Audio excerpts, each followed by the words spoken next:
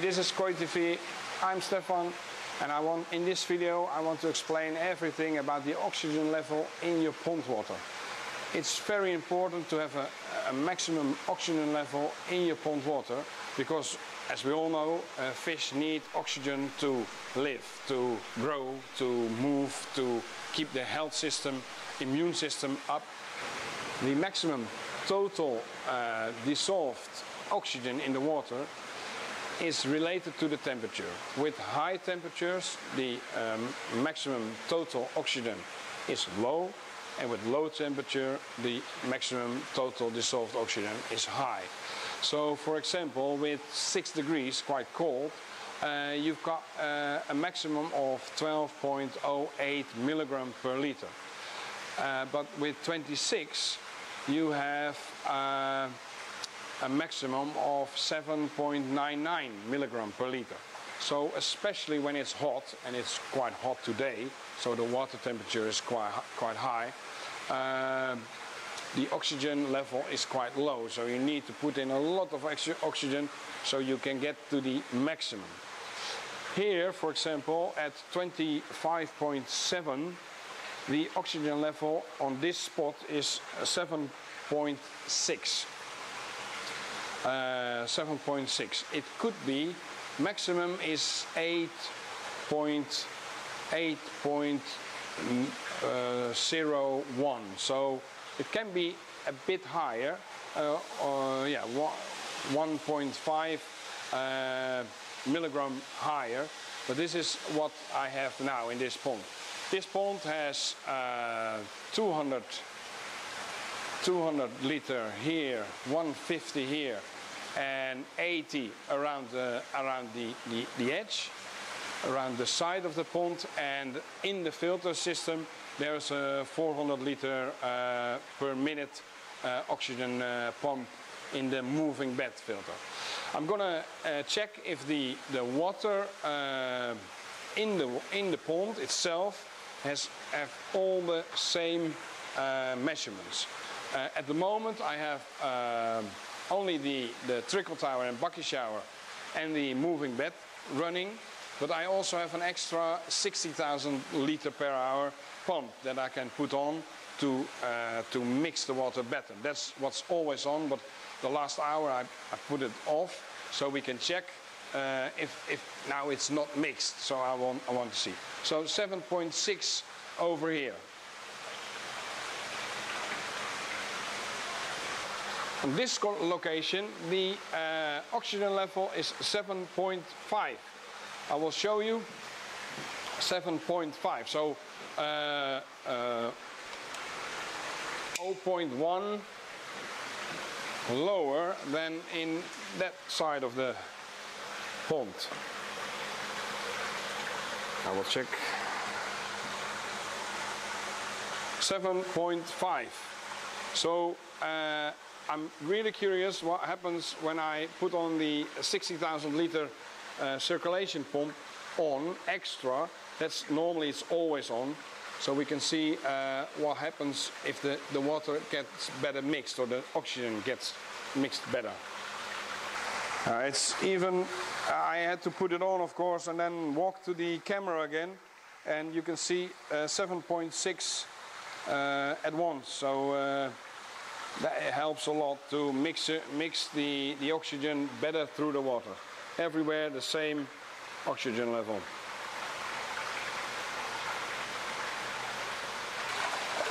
Now we know, now know uh, the level of the oxygen in the water, uh, in the pond water, is 7.6.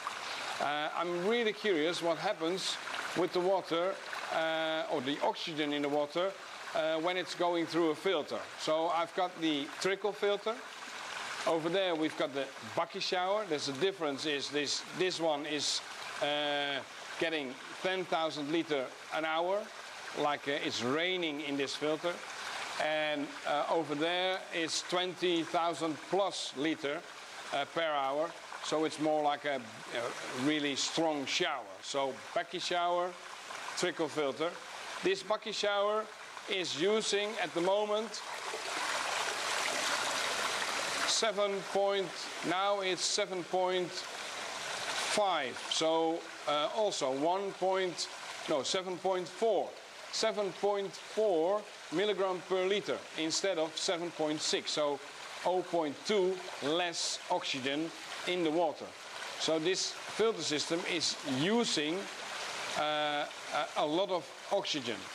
Uh, I think there's a, a, lot of misunderstanding in, in pond world, in koi world, where people say that their filter is uh, making oxygen, as in those trickle filter, trickle filters, or the Bakki showers, or the the moving bed. But I think when uh, the bacteria are in, are, when they're doing their work, uh, the, the oxygen level is getting lower, even after uh, a four-layer uh, trickle filter. 7.4. This is the uh, Bakki shower. So more water is going through this filter system than the trickle tower, twice as, as much. And the uh, level in the water is still 7.6 and the level going out is 7.3 7.3 so even more oxygen is used in this filter system than in that. So for me that means that the trickle is um, the bacteria in there are not working as well as the Bakki shower 7.6 now. Uh, I'm gonna shut down the, the system so we're to have a look what happens in five minutes of a system shutdown uh, see it as a power failure or whatever. And we have a, have a look what happens in only five minutes of the oxygen level.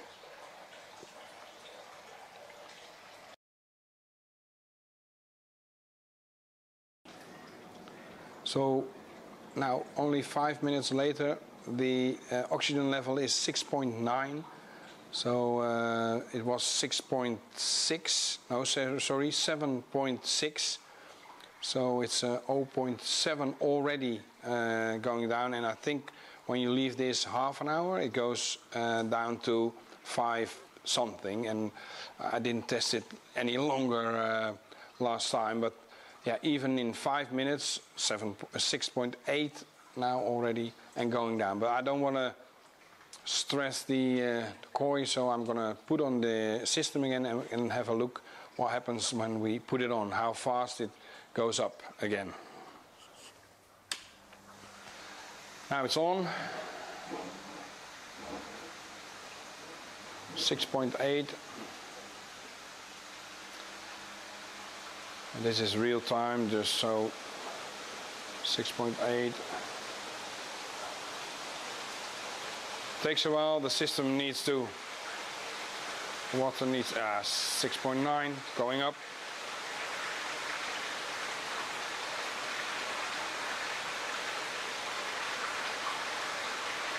Seven.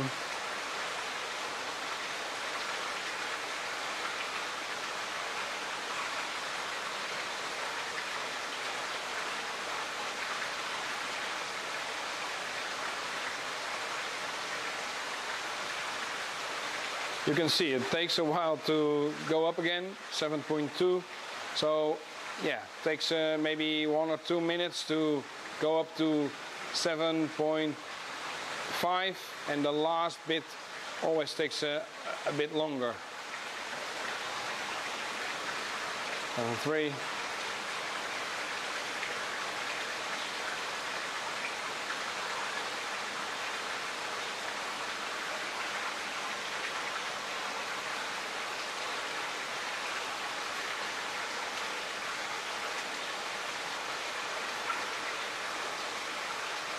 four. So in a few minutes it will go up to seven six. So that is good. Good again. We've got the uh, results for the Bakki shower and the trickle tower and I'm really curious what happens with the oxygen level in the moving bed uh, filtration system. In here we've got a vortex, it's just empty turning water and then the next filter is uh, a moving bed Helix, uh, 500 liter uh, of, uh, of medium. I'm, really curious. come on.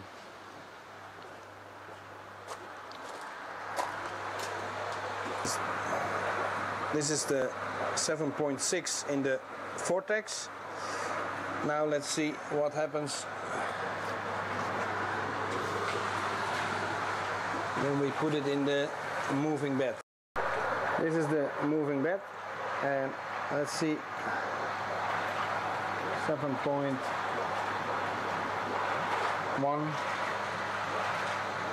7.0 uh, milligram per liter. So this uh, moving bed is using uh, 0.6 milligrams per liter. 0.5, quite a lot.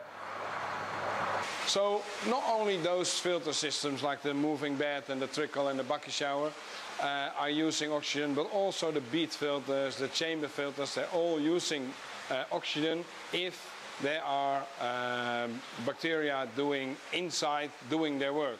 And uh, that's what you want. So uh, yeah, normally they take a lot of oxygen. If they don't uh, uh take a lot of oxygen and, and sometimes produce then it means the bacteria inside the filter system are not working or they are not there so you need to uh, you need to have a result like this to have a good water quality. And aeration of the, of the pond is really important. Don't uh, make the mistake to think, okay, I have a moving bed and I have a trickles or whatever filter. Uh, you need you need oxygen or yeah, uh, air in your pond as much as possible and you will see the koi are, will grow bigger uh, they're more healthy, so less medicine you need to do. And, uh, and also uh, hole disease, um, any bacterial infection are uh, much, much less with a lot of aeration. So the next bit of movie is the, uh, the test what happens with your oxygen level or the oxygen level in the pond water uh, when you're putting in medicine. Uh, and I'm not going to put in any medicine in here. Koi are really healthy, so I'm not going to do for scientists, for science, uh, just uh, uh put some medicine in.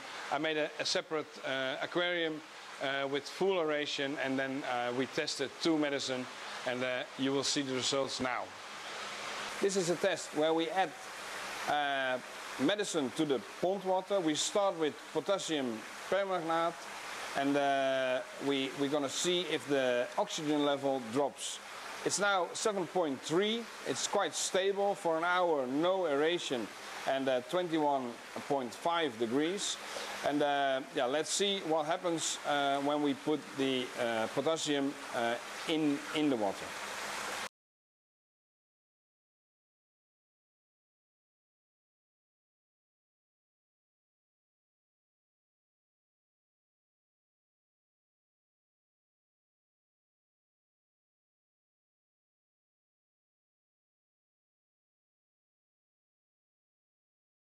So now 10 minutes later, 6.9 milligrams per liter. So uh, from 7.3, so 0.4, 0.5 now, 6.8. Uh, uh, still going down, uh, the oxygen is, is going down because of the uh, adding of the potassium permanganate. So the, uh, it's really important to aerate your, your pond more, even more, when you're putting in uh, uh, yeah, potassium permanganate. Now we're going to test the FMC. So another five minutes later, the oxygen level dropped even till 6.4, 6.3, I think. Uh, so it's really dropping. The next test is with FMC. This uh, water is also in the tank for about an hour. Uh, oxygen level is 7.6 and uh, I'm really curious what happens when I'm uh, putting in the FMC.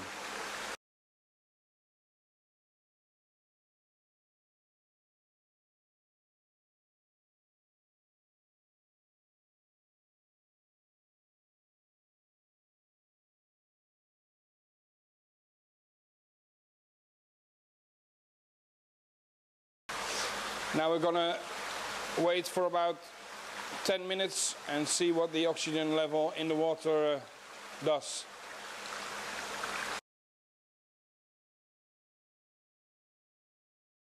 Now 15 minutes later the oxygen level is 6.4 milligrams per liter um, so the, uh, yeah, the FMC is also lowering the oxygen uh, in the water so also really important if you use FMC, I think almost every uh, medicine, please use extra oxygen or air in your, in your water. As you can see, the oxygen level in the water is really dropping when adding the potassium permanganate and the FMC. So it's really important if you use those medicine, and I think in general all medicine, to, to get more aeration in your water.